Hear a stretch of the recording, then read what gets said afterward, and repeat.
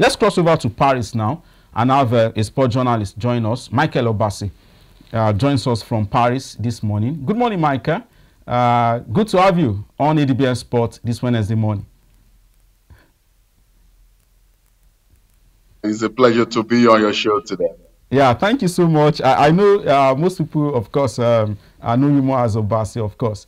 Uh, now, let's talk about Team Nigeria so far. Not too good news uh, last night uh, from uh, the camp of the team. Oborududu, Favour Ofili, not what we're expecting.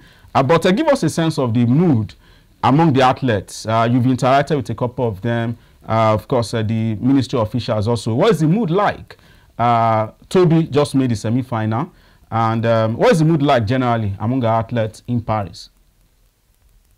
I won't lie to you. The, the mood is that of uh, being nervy. The mood is that of being expectant. Uh, we're not too excited, uh, but we are just uh, are still very hopeful that we will not come back uh, empty-handed. Uh, we've been pregnant of a medal since the start of the Olympic Games. two were aborted yesterday. There were a lot of optimism that uh, did especially, uh, we get something yesterday, but uh, uh, unfortunately she could not uh, uh, get that bronze medal. And there'll be so much talk about her fitness coming into these Olympic Games. That there'll be talk about uh, she was not 100% fit for these games. But her track record in the past uh, was good enough to convince uh, the federation to bring her here. But it has shown that yes, uh, the age is telling on her, and that fitness showed uh, in that third place uh, match against uh, uh, the Japanese she lost to. Uh, she started very well again in the, in the quarterfinals, but uh, she failed. Uh, for Favour Ofili, there were small margins of opportunity that could get a medal.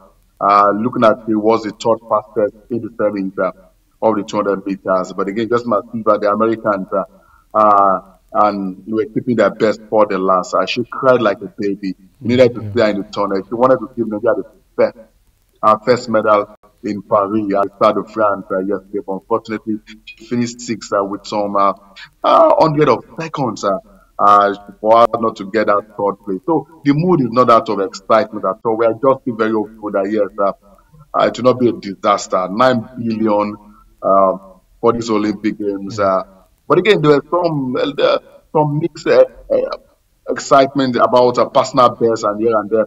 Yesterday was the first time we get to the final of the long jump. Having three Nigerians in the final has never happened in the long jump. Uh, three Nigerians, of course, so, uh, aside for Ese Brume, uh, the two other Nigerians go to the final. So we are very hopeful that uh, out of the 12 lineup in the final, we have three Nigerians, at least one uh, should, or even two to give us uh, a, a, podium finish. And uh, for uh, uh, the guy yesterday that got to the final, Gazi of the 400 meters, uh, also, we are looking forward to that later today of, of, hoping that uh, it is the first time the guys get to the final of the 400 meters in about 30 something years after uh. Uh, so th- these are some of the uh, few chemistries of optimism, sharing news that we've gotten, but they can't be they can't be as close as getting a medal, and we, we are we are long overdue for a medal in these Paralympic Games, and that is where the mood has been. Yeah, I agree with you. Now, looking at the remaining events that we have, what are our best chances? I mean, Tobi just made the semi-final. We I expect her, of course, to make it uh, to the final. Uh, we've seen Nigerian athletes have made it to the final. Ofili was able to do that. What are our best chances?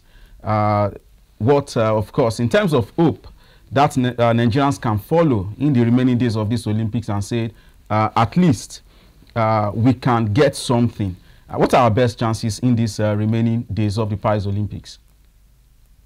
Uh, frankly speaking, um, being a journalist, uh, being uh, someone closer to the event here, the best chance for us is, is always Tobi Amusan. Mm. He's the poster girl of our athletics. Uh, that is the best chance of us getting a medal at this Olympic Games. Uh. Of course, uh, uh, we are thinking about what to do it. Oh, Ade, Ade Kuroye uh, is there to have our own. Uh, but I won't lie to you. Uh, Muso is our best chance, uh, mm. unless we see some miracles uh, in, the, in, in athletics. But Tobi Amusan is still our best chance. Uh. In basketball, we are playing the United States later tonight. Yeah.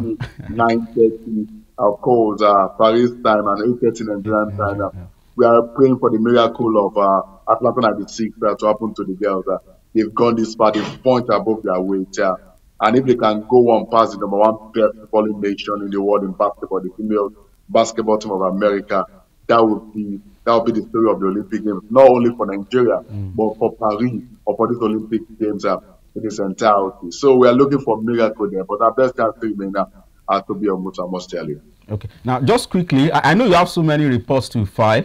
Uh, so just uh, finally, uh, of course, um, uh, that uh, issue yesterday, uh, Olajide Olayinka uh, reacting, of course, to the tweets of the minister around training grants for local and foreign-based athletes.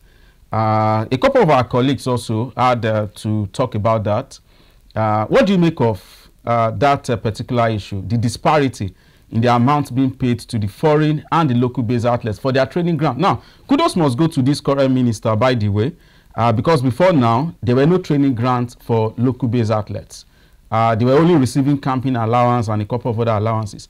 What do you make of that? And what, of course, you are close to the media aides of the minister right there in Paris uh, together. What uh, are you getting from uh, the office of the minister? Uh, and what do you think uh, should be the way forward? I think the way forward is so simple. The way forward should be uh, an, an, an, egalitarian system where the foreign athletes and the local athletes get the same allowances.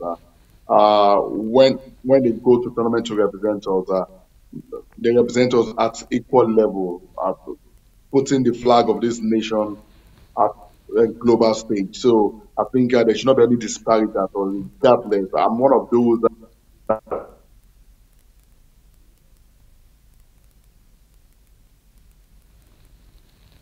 Okay. Uh, oh, well, let's see if. Um. Okay, Obasi, continue. Just quickly wrap up. The network trying to play pranks with us. Uh, I think I think I think I support totally that, that there should be, there should be a, an egalitarian system where uh, there's no disparity, no matter where you are, as long as you are representing this nation uh, at international tournaments. so I think I totally agree with him that uh, there should not be any disparity at all. And I, I, just, hope that this minister to follow through his action. It's, it's worth that, that athletes both home and abroad should get the same money. That's the only way those back home here, of course, uh, we always know that yes, uh, even with my sweat and blood, uh, Nigeria understand and of course respect uh, and honor everything we put into representing our fatherland. Yeah, that is it. Uh, of course, a good place to leave it. Thank you so much, uh, Michael Obasi. And um, I'm happy also you referenced that quite uh, emotional scene from Ofili last night. And kudos to a number of you out there, our colleagues who were on ground to comfort her uh, led by the likes of Grace Adams of Radio Nigeria and a couple of other colleagues, of course. Thank you so much. Do have a great day in Paris. And hopefully, when you are returning with Team Nigeria, you'll be returning with medals that we can celebrate, of course. Thank you so much. Thank you so much. Au revoir.